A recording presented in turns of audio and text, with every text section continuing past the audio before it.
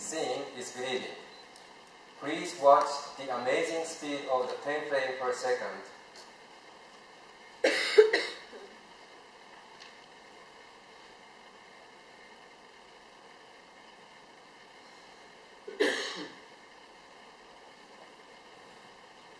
so there is no sound.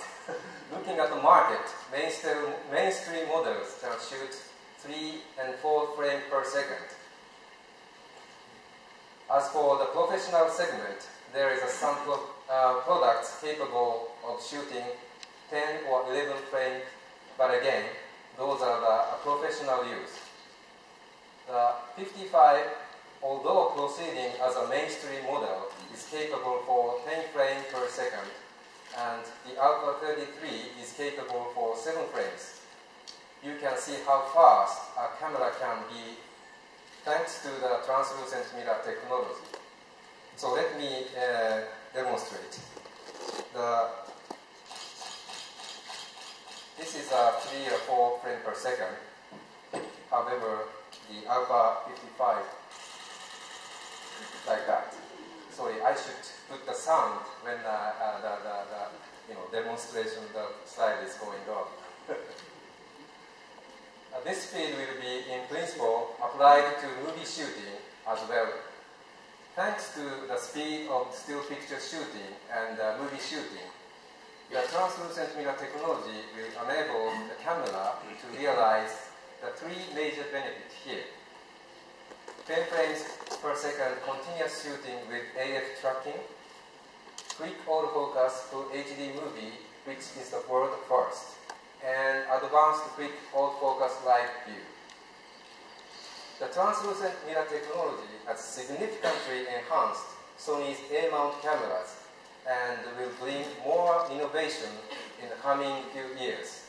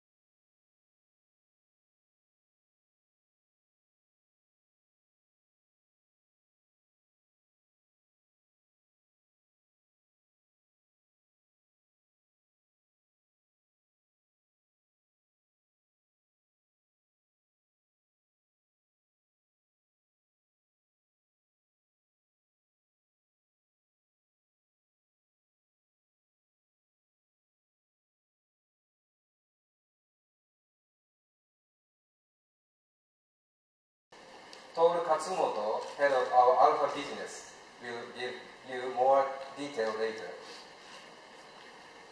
Now about the E-mount. There are uh, uh, only uh, three lenses for the E-mount, and uh, we know this is not enough. We are proceeding development for more lenses, and I'd like to introduce them briefly. In addition to the existing three lenses, we are planning to add seven lenses in the coming two years, raising the total number of E-mount lenses to 10. Again, I'd like to ask Toru Katsumoto to speak about these lenses in more detail later.